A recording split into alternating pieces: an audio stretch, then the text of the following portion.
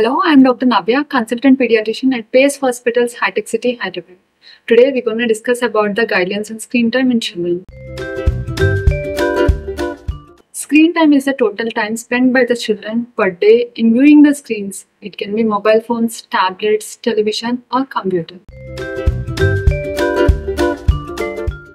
Excessive screen time has many harmful effects on children. The effects on the physical health is easy to understand. That excessive screen time lead to sedentary lifestyle, which in turn lead to obesity. And watching screens for longer duration strains the eyes, and it also causes headache and disturbs sleep. And watching screens in the wrong postures lead to back and neck pains. The effects on the mental health, still many research is going on. There are few research according to which the early introduction of screens for children less than 2 years of age lead to delayed speech and hyperactivity.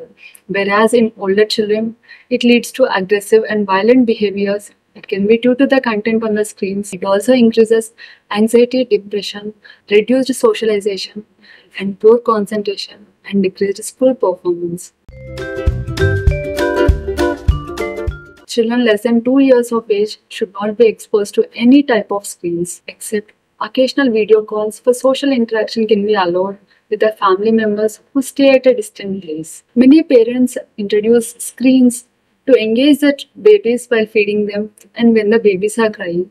Dear parents, please do not do that. And for children between 2 to 5 years of age, limit screen time to less than 1 hour per day and always supervise the screen time of your children. And for children between 5 to 10 years of age, screen time should not exceed 2 hours per day.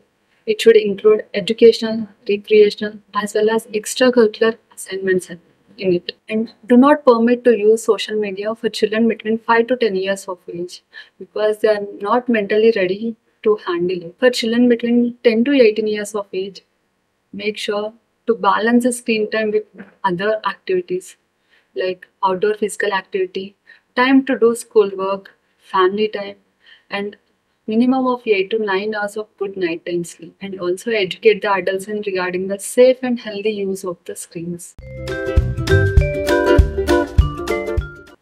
When screens are used in moderation, they may have benefits. It encourages learning and acquiring knowledge.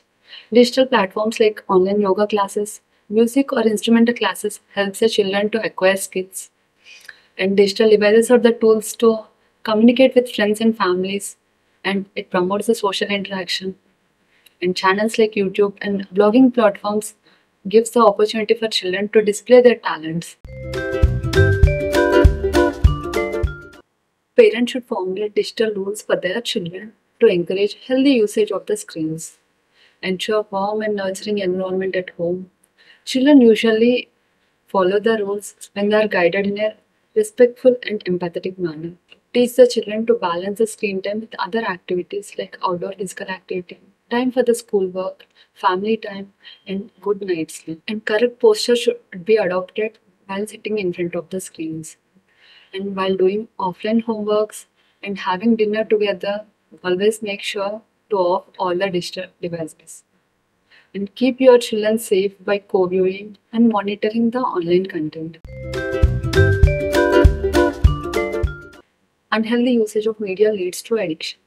If your child compulsively uses the media, craves for it, and lost control over its usage, and gets violent and asked to stop its use and continues to use in spite of the adverse consequences like reduced school performance, he probably got addicted to it.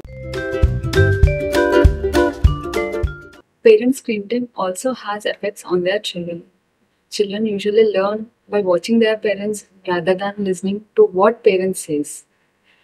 And children usually learn healthy usage of the screens, the parent role model the digital hygiene. And moreover, when the parents use screens for longer duration, the time for social interaction with their children decreases and which in turn has negative effect on their child's development.